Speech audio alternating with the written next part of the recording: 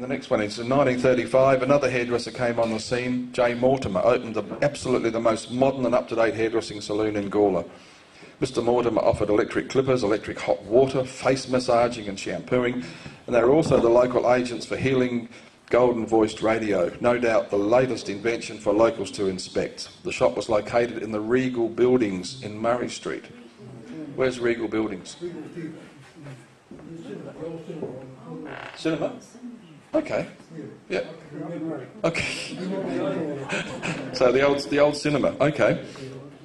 Keith Martin was advertising permanent waving, full head of a ten and sixpence, and a half head of six and sixpence. So I'm not sure how you perm a half head. I guess that might be the top or something. I don't know. but it was six and six anyway. If you only wanted a half a head. Um, and the price of haircuts began to rise again after the Depression where the prices fell by 33 and a third percent. One and six down to one shilling. They are now being raised by uh, uh, one and threepence. Um, and uh, it seems that hairdressers worked harder and longer than most other trades, being available to the public for 65 hours a week in an age when the normal hours was 44 hours, and employees demanding that they be reduced to 40 or 36 hours. So there was an awful lot of hours spent by those hairdressers. It seemed to be the pattern all along. I couldn't quite find out when they opened, but I, uh, they, I found out what the closing hours were, and uh, assuming they were you know, open at a reasonable time in the morning, they did a lot of hours in a week. And the secretary of the, the Master Hairdressing Association placed a notice in the bunyip that all hairdressers will charge one and threepence for haircuts as of Monday, the 11th of May. So the, I just said the ACCC would have a amused at that today. And I can remember back in my time when there was a little, little slip in the advertiser that haircuts will be going up as of next Monday. Um, so that's back in the late 60s and probably early, early 70s. Um, the haircuts were one price uh, right throughout the state back in those days. It was only a small. I paid sixpence haircut. Sixpence? You used to put a little box on the, on the, on the seat there. Yeah. If you were on there, you, you had to pay one. Oh! Sixpence. Um, that's it. Um, oh, Johnny Rawling, yes. John Rawling died on March, in March uh, 1945. He was born in York, England in 1860 and commenced hairdresser and tobacconist in Gawler here in 1884. He'd been going for uh, 60 years as a hairdresser in town and um, he passed away at his home in Todd Street after a short illness. Um, he arrived here in 1884 accompanied by his brother-in-law James Ashton. Does that ring any bells with anybody? James Ashton, very famous artist, yep, and a teacher, a, a teacher of art as well. Um, in our shop there was a huge painting which was quite beautiful, huge thing, um, and uh, it was a James Ashton, but I didn't know much about it when I was there. Um, and uh, when the family sold me the business, the painting was the first thing that went out. Um, and uh, yeah, James Ashton was a very famous, very famous artist. Went out to where? To the family. Oh. Across the road here somewhere, yeah. Um, and so that just goes on to talk about some of the things that uh, uh in the obituary that, that Johnny Rawling had done. And he left a widow, Frances Rawling, and uh, she continued to run the business for a little while. In next one. Yeah, this is interesting. Uh, in 1946, Harold Weaver advised that he had reopened his service station and hairdressing saloon in Willaston. The public could buy car tyres, cycle tyres, batteries, retreads, and get a haircut at the same time. and he had a large range of fancy goods, oils, and razor blades. so uh, that, I assume that's Bricky Weaver uh, in, in Laverton. Your dad, yeah. Yep. Where, where was the shop in Willaston? Where the BP separate survey Oh, on the le- okay. Yeah, yeah. Yeah, yeah, the gallery. Yeah. Well, that's a shop we need, the picture we need to get in the actual, yeah. Um, Keith Martin's daughter, the next one, please, yeah. Keith Martin, if you got any more stories of that, that that's a, the perfect place to be able to put onto to, to an addendum there, yeah, absolutely. Keith Martin's daughter Pauline was following her father's footsteps into the trade and seeking models for all classes of ladies' hairdressing in June 1946. At the same time, Keith Martin was advertising cold permanent waving and promoted his phone number as 187.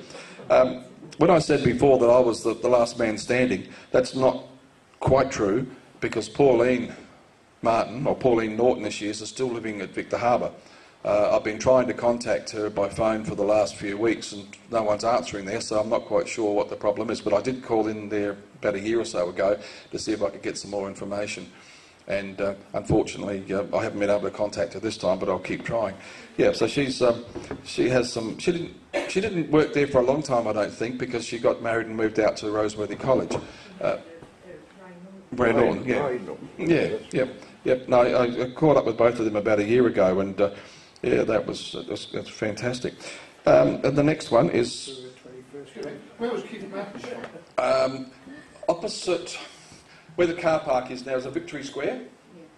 Is it the car park in the middle of the main street? We bought shop. Yeah, lo- alongside the Growls. We bought Martin's shop. Yep.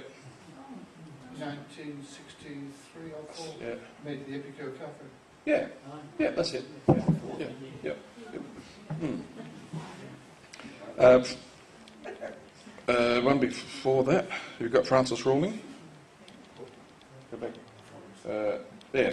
Um, Mrs. Frances Rawling passed away in November 47, and Harold Moran took over the business of Rawling and Freak, which he ran until his death in 1973. So he was there for over 40 years. And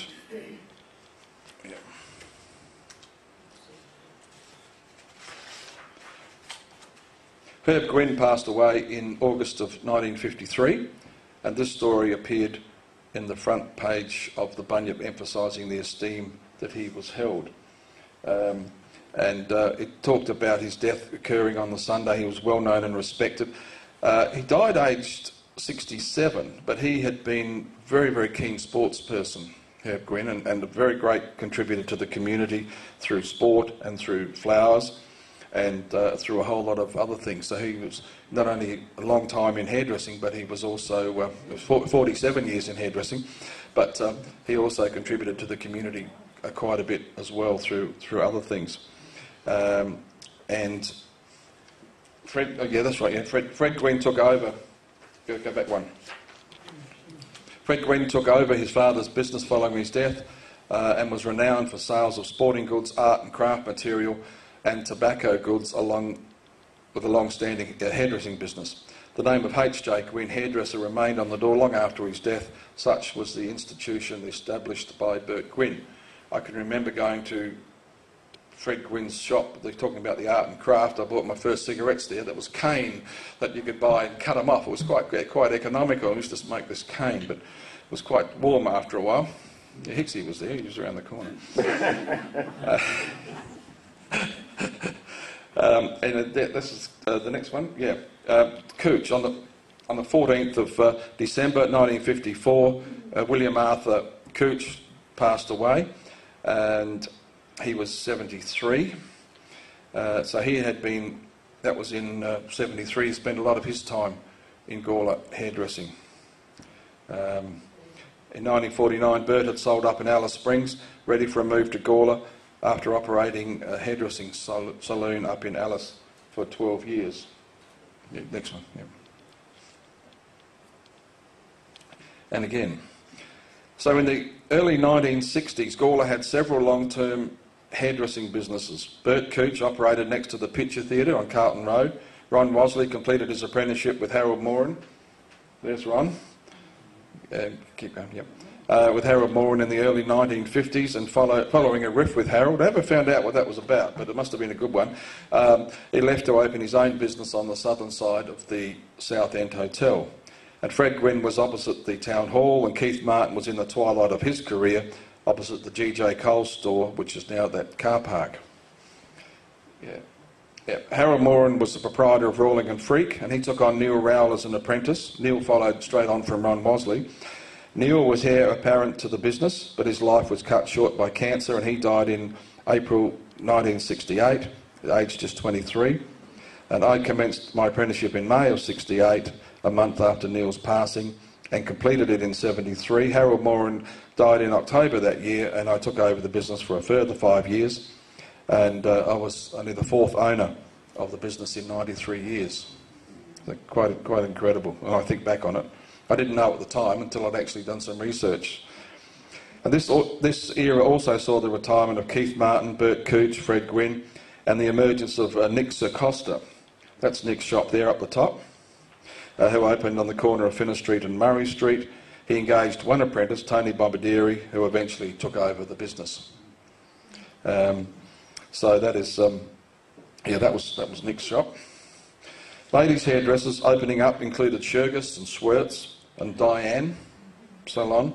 Uh, Ron Wasley moved up to Bert Cooch's side upon Bert's retirement and the redevelopment of the Picture Theatre, and he always worked on his own. He passed away in 2007, aged 75.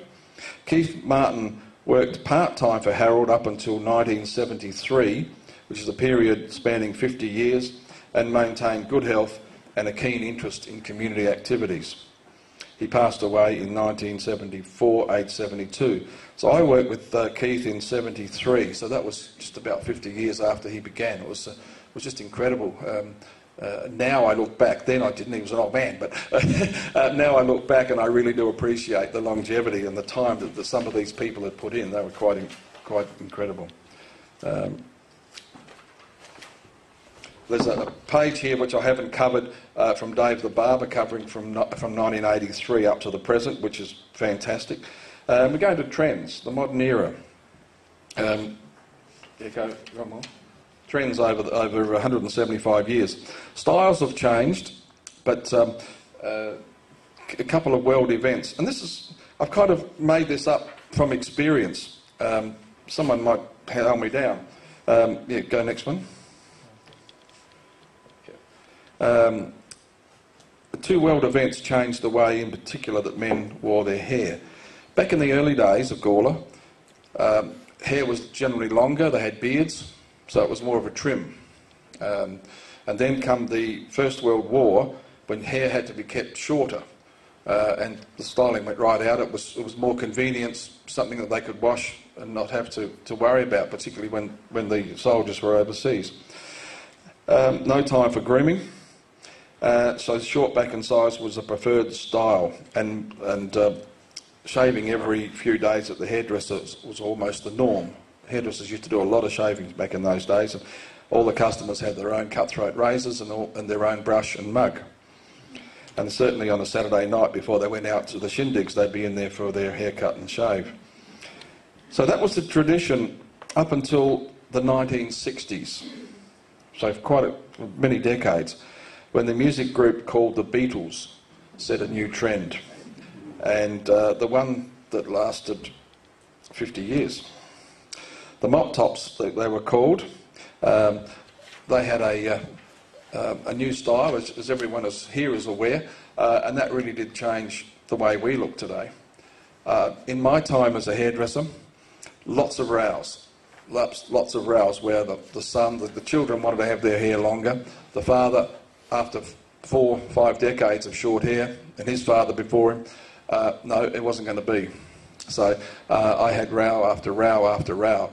Uh, I had to please the father because he was paying, but I knew the lad was going to go to school next day and get castigated by the, by the people. Um, and uh, so I actually saw families breaking up over this. It was really quite a, a quite crude. Really, really was.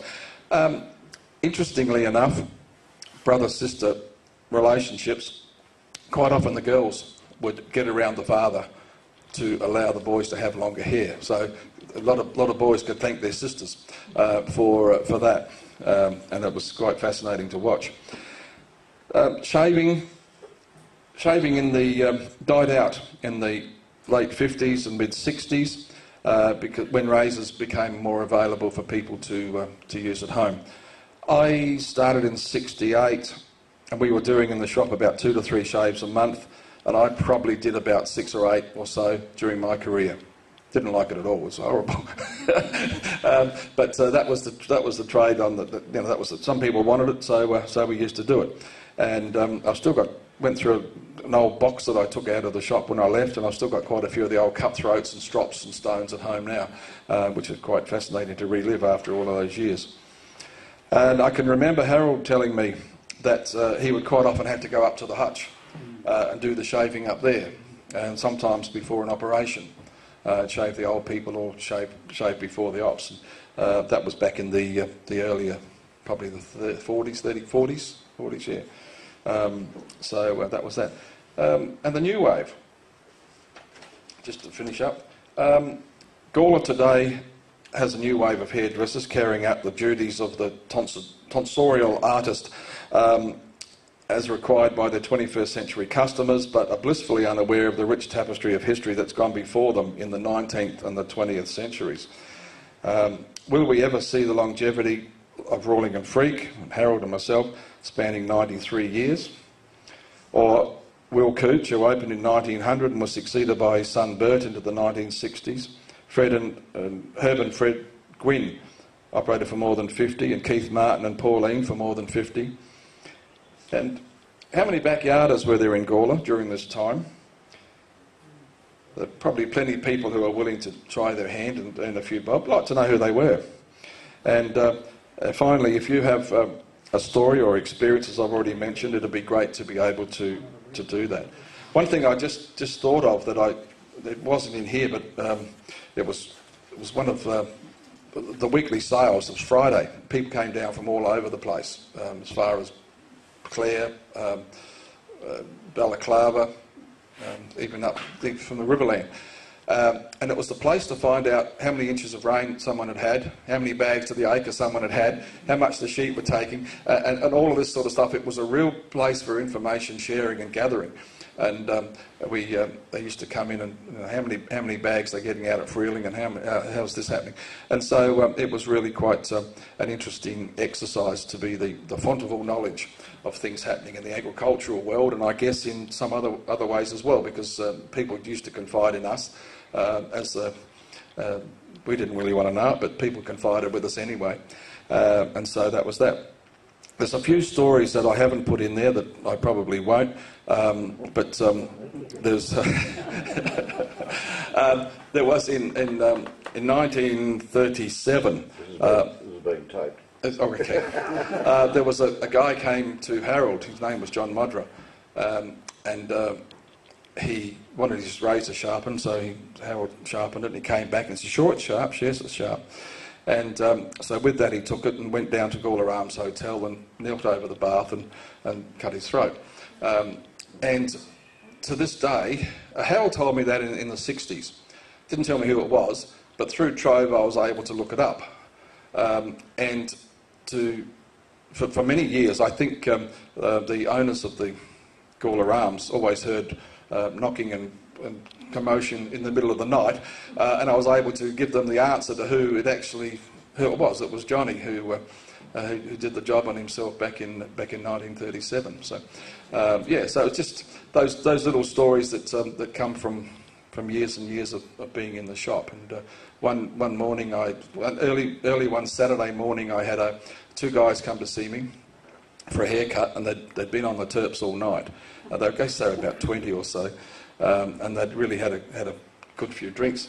Uh, and one of them became a father the night before, so they went out celebrating. So and uh, within 20 minutes they were both dead in a car accident. So that's a sort of you know, really, really sad that. Um, that those sort of things that uh, you, in a hairdressing shop you get. And it was very uncanny how many times you'd cut someone's hair, elderly person, uh, and the next week you're looking in the paper, they're gone. At least they went, went looking nice. But um, it was, I'm sure it's nothing to do with the haircut, but uh, it was a sort of uh, uh, the things that, um, that you remember as uh, uh, many, many, many, many times that actually happened. So, yeah, I think that's, uh, that brings me to the end. Thank you very much.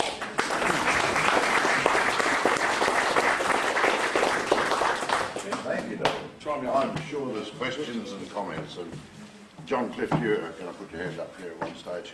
Those photos you're talking about of uh, early weavers' garage and barber shop, we have got those, David. Yep.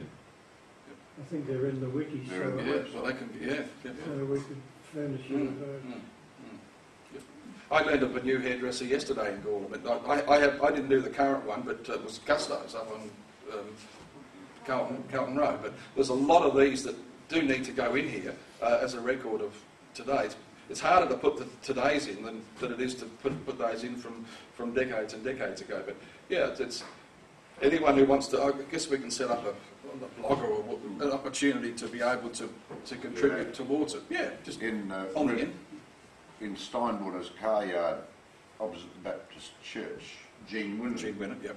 yep. There used to be a little alleyway alongside where, what we call Piccolo's Yep. Blue House. There was an alleyway and there were little um, houses at the end, and she had a. My mum used to go there Yeah. for uh, I, hairdressing. I, I actually went there several times, and so did you. Yeah, Rosie. yeah. Jean Winner gets a mention in the paper, but I, I'm assuming she was there, but I didn't know for sure. So there we are. We're, we're, Yes. we're going to gain information all the time. Freely Cooch at Willaston, that was Bird's wife. Yes. Yeah. She did. Yeah. I knew I knew Jean uh, up in in the nineties. She lived up in the in the Barossa, or she spent a lot of time in the Barossa, um, and she'd get her. Closer to the mic.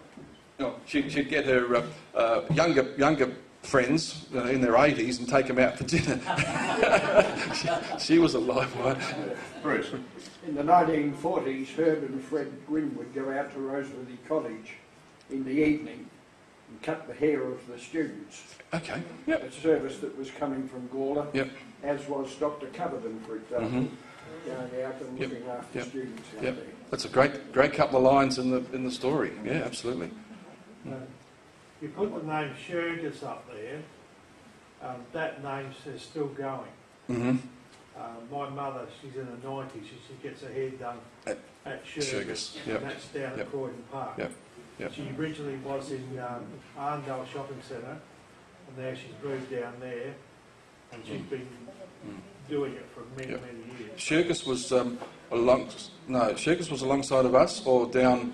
The second shop from Todd Street. Yes. Hamilton's, then Sugar's, Yes. then Yep. The Outgoing. bottom one. Next to us there was um, Schwertz. Yeah, Schwertz hairdressers up the The top. name's still going. Yeah, Mike Dennison. Why are they called tonsorial artists? Because they Excuse my ignorance. they speak. They're a lot of talking. It's, it's just rabbiting on. Yeah, about sometimes about nothing. Right. Tony, uh, Tony, You said something about Martin's murder or father or suicide. What was that? Um, there was a young young lad from Tanunda. His father was the principal up there at the school. Came down to um, Gawler here to, to go to school and boarded at Martin's, which is in Short Street, just behind the the Gawler East, well, the, the, the Gawler East Primary as it used to be. Um, and uh, for whatever reason, um, he uh, he snapped and got a gun and shot Keith's mother, and then shot himself. Where? Where, it, at, in, Short, in Short Street, yeah, yeah, yeah.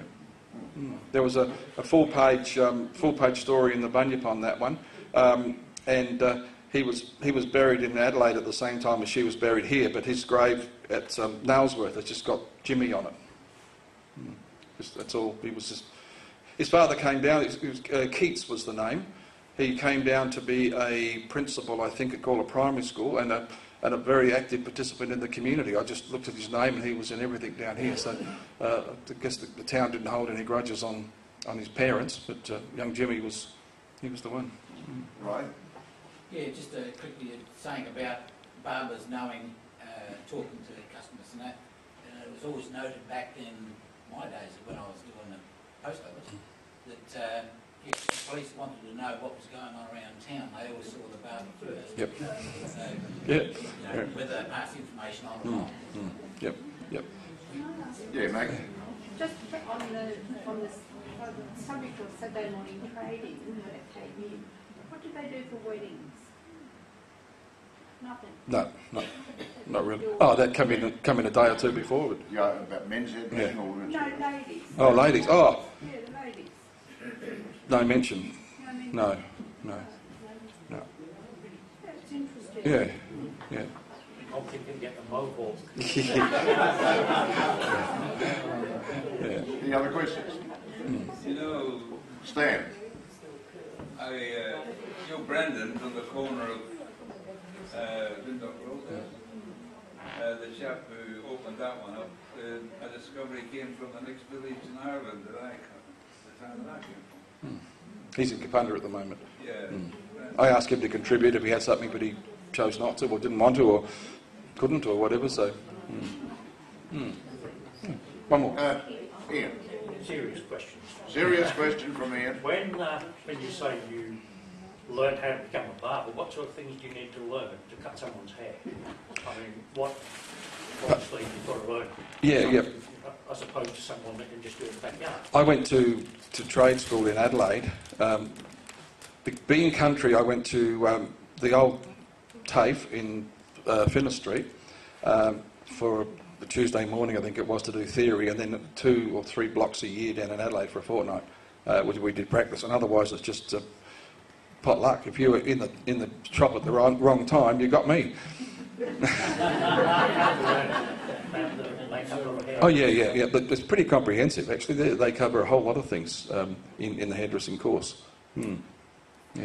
What about looking at diseases of the scalp? Yep. Yep. Even how important was yep, that? very much so. Yeah, skin, uh, skin and diseases. Um, even down to uh, electri- uh, electrical, because we're actually dealing with electrical clippers and that sort of thing. Um, and so that even like taking care with power and um diseases um, and um, oh, nothing about character, but it was all to do with the practical side of, of cutting cutting hair.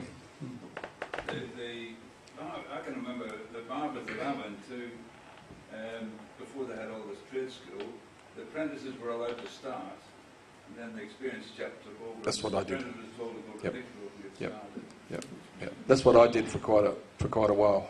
How So far were you allowed to go? depending how much Harold was talking to someone else. if he, he got carried away, I went quite. I went, I went all the way through, perhaps. But um, yeah, Uh, and some people are good teachers, and others aren't. And I'd say honestly that Harold wasn't a good teacher. Um, he, he wasn't. He wasn't a uh, nice enough bloke, but he wasn't a, an instructor, if you like. So I had to do a lot of lot of it on my own. Mm, But um, I, got, I got by. By after three years, I was able to run the shop. That's called the School of Hard Knocks. Last question? Yes. Harold Moran got that my dad started. Yep. Not as, a- not, not as an apprentice, Hmm. he just showed him what. Showed him, yeah, yeah. Yep. Footballers. One of the questions I was going to ask Pauline Norton when I do get her uh, is uh, where did Keith start operating from? I knew that in 90, in 25 he was a, a hairdresser. In 28 he was on his own, but I'm not sure who he did his trade for, uh, with or uh, how he actually um, learned. So uh, that's one of the one of the things that still needs to, to go in there. But uh, yeah, I'll just keep keep putting the, the contribution in and. mm. There's a woman called Judy Gibbons, and she used to work for Shogus. You might want to come onto her. I can give you her name. Judy Gibbons. She used to work for Shogus Okay, Sugar's. Mm. in You the know, 70s. Twelve months ago, I had an inkling that the history of hairdressing in Gawler would be interesting, and it sure was. Yeah. Well done, lot. and uh, I'd now like to ask uh, Pat to uh, presented by the Frank, somebody out there.